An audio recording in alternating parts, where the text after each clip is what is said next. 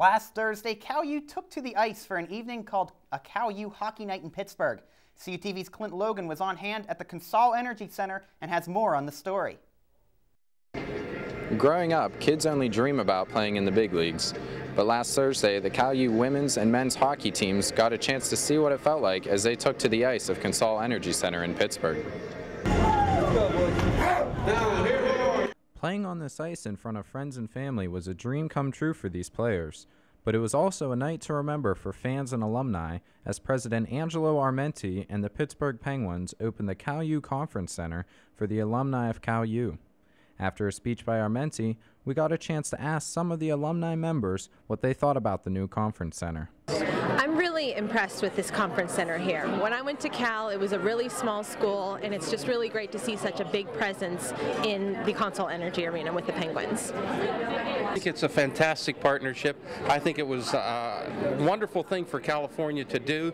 It ties together so many things for us. It brings the city and the, and the California together, and this is a wonderful venue. It's going to be a great place for our teams to play. The conference center wasn't the only highlight of the night as Tyler Kennedy and Deryk Engelland of the Pittsburgh Penguins took some time to sign autographs for fans old and young.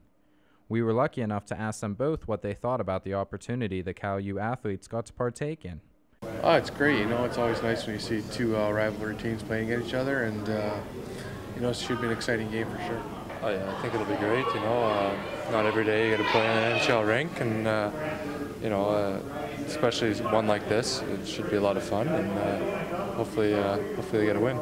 As fans began pouring in, we got a chance to ask President Armenti and Vice President for Marketing and University Relations, Craig Butzine, what they thought about the Cal U men's and women's hockey team's opportunity.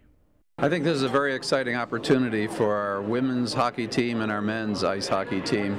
Uh, they get to play in a world-class arena. Uh, they get to uh, uh be watched by uh, family and friends and classmates. Uh, I, have already met with both teams earlier this evening, and I can tell you they are very, very excited to be playing here.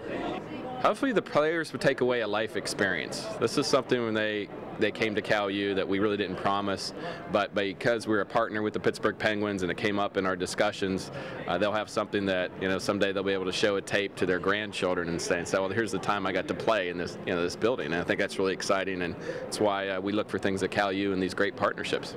During the game, fans also got the chance to see the games in club seats and partake in a puck throwing competition.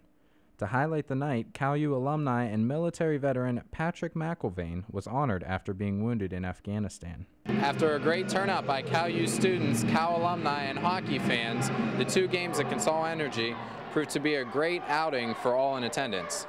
For CUTV News Center at Consol Energy Center, I'm Clinton Logan.